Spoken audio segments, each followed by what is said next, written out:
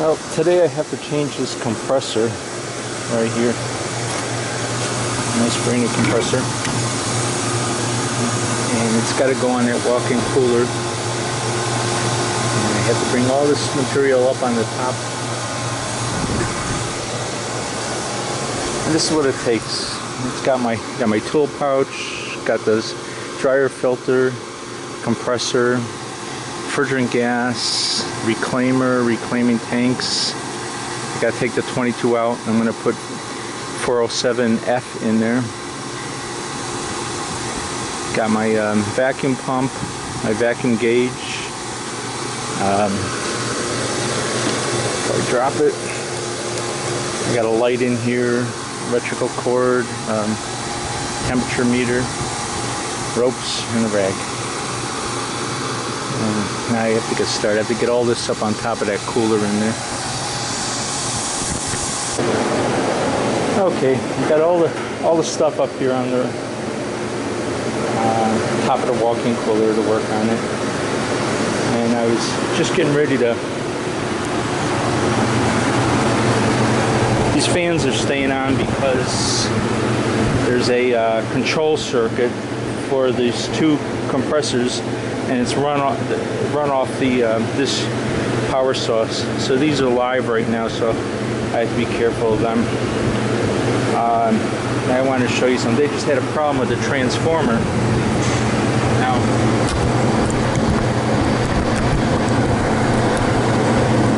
now I was going to hook up my light, my jumper, to the uh, contactor to a ground let me just show you. You can see the uh, amp probe here.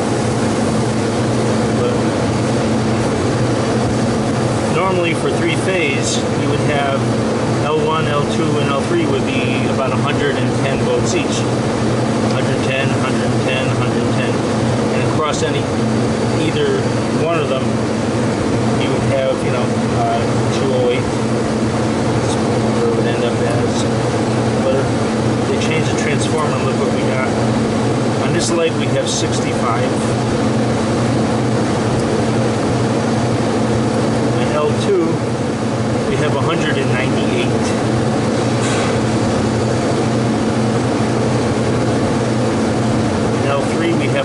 1968.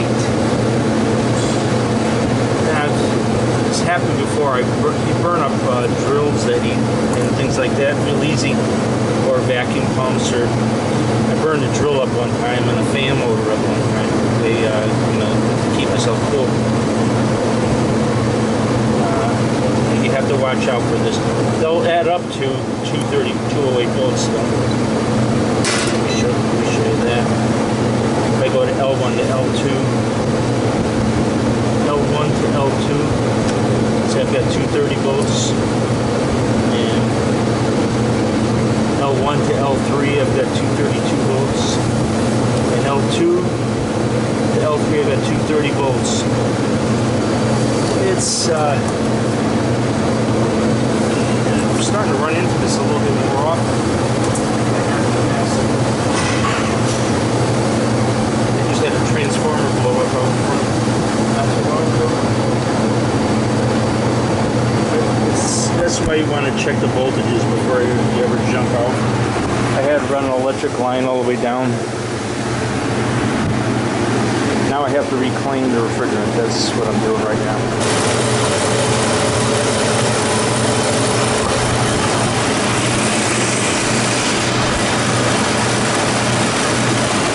We're reclaiming right now. We're taking the 22 out and putting it into this tank.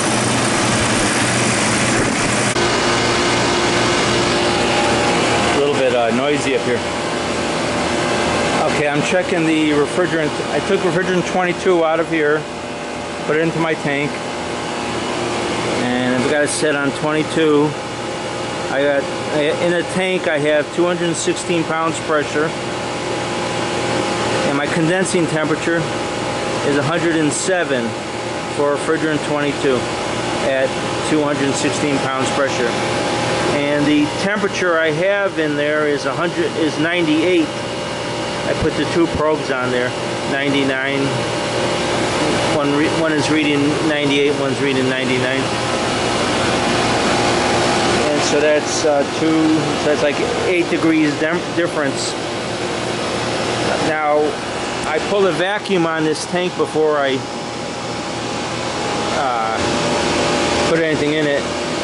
And I don't know, that shows me that the refrigerant just deteriorated over the, uh, the years that it was in here. This compresses from 05. So if it was in there for that many years, um, I, I, personally, I don't think got air in the system at all, but um, and I don't have air in the tank because I emptied it out.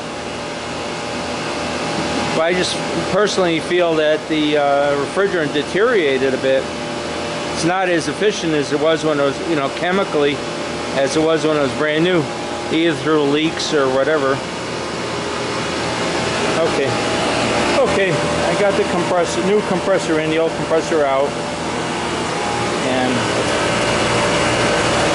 I've got to connect my high side line. I believe I have to use that uh, reducing coupling in here to creates compressor brazed in brazes look pretty okay. And uh, I hooked up this suction and discharge uh, ports to the uh, pressure control. I'm pulling a vacuum on it right now. I changed the dryer filter. I dated it old one. Put Nylog on my fittings. I like to use Nylog on my uh, vacuum fittings. But I don't really like it on dryer filters. I, I prefer uh, leak lock. I have more confidence in leak lock.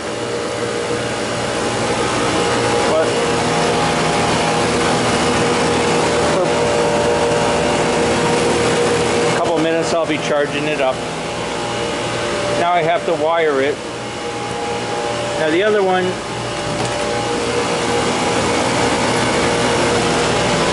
the other one had this wire on it. It has three wires, it's three phase.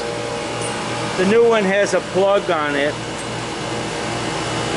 So I just have to come off the bottom of the contactor uh, with this, and it's just L1, L2, L3. It's very simple. I'm going to work on that now. But be careful, there's that crack monster there. You lose your tools down those things. They don't come back. Okay. So we're dropping pretty fast in the vacuum. Okay, wired wire this in down here T1, T2, and T3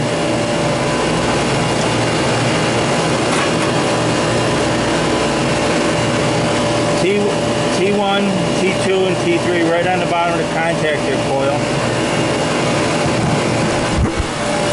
Phase. Three phase, so you just have to line up the prongs.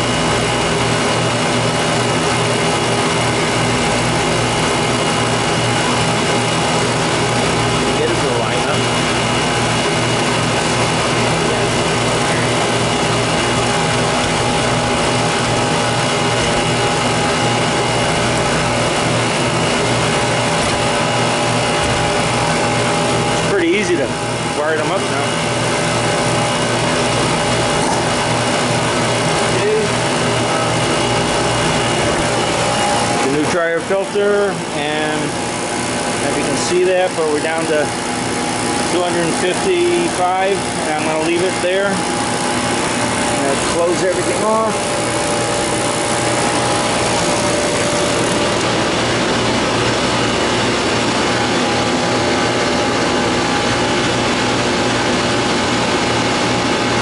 And now I'm going to add gas to it took the old uh, Schraders out. I'm going to put new ones in. Put nice fresh new ones.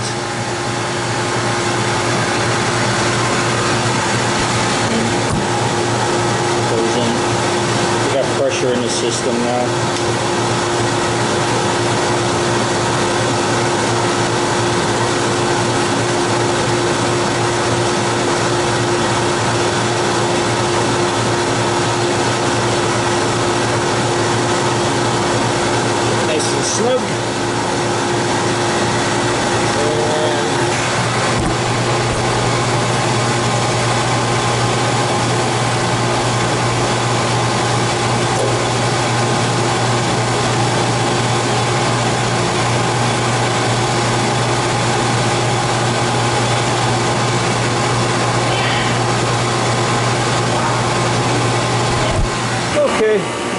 In it.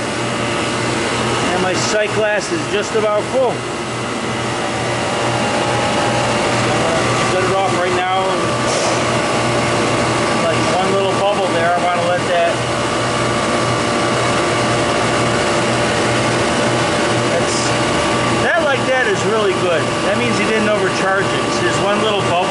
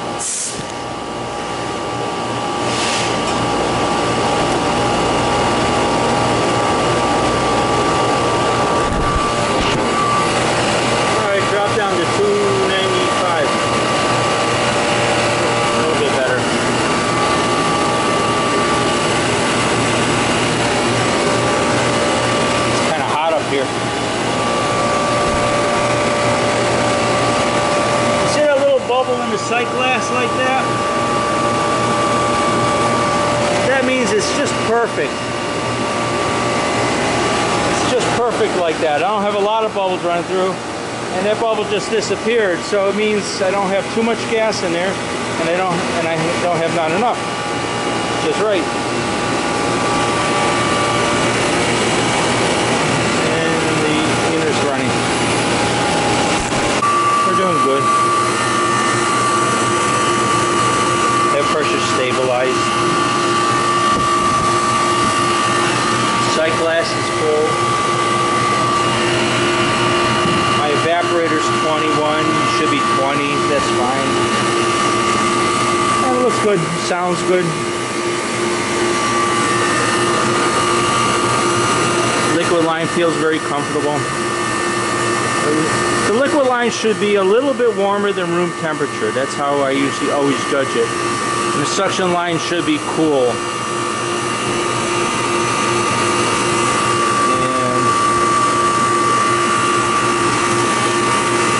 Looks good. Everything's fine. Well, this is how the day ends. Back on the loading dock and into the truck. Uh, that was a little bit of fun today.